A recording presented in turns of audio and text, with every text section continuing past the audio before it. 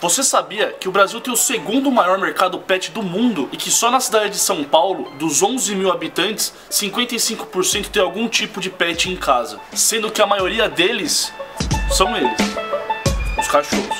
E se você que está assistindo esse vídeo adora cães, você chegou no canal certo. Bem-vindos a Traducão, o canal que vai tirar as suas dúvidas, vai te dar dicas, novidades e curiosidades sobre o mundo deles, dos cães. Inscreva-se no Traducão.